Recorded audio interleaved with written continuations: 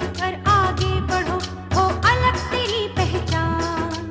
अरे तो भैया की चिट्ठी है। अमित की चिट्ठी? हाँ। तो पढ़ के सुनाना ज्ञान का पलड़ा सबसे भारी ज्ञानी ही धनवान। शिक्षा जब से घर में आई होठों पर मुस्कान।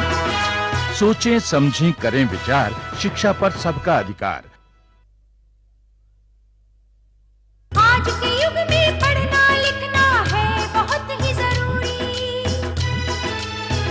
सोचें समझें करें विचार शिक्षा पर सबका अधिकार।